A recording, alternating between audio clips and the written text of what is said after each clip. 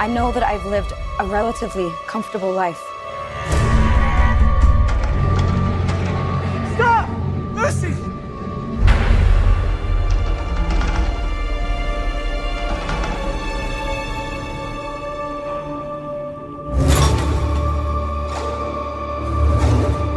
You need to go home. Vault dwellers are an endangered species. I do not think you would be willing to do what it takes to survive up here.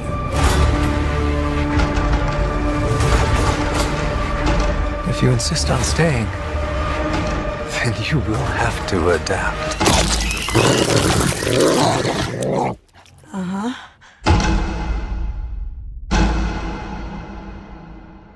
I don't want to see tomorrow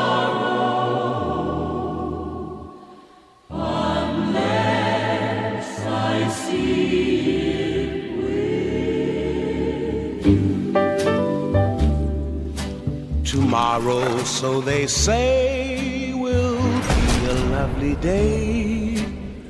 A bright new sun will suddenly break through.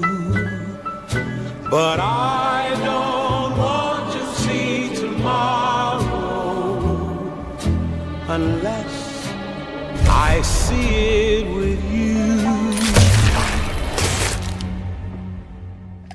I uh, grabbed a moldy one.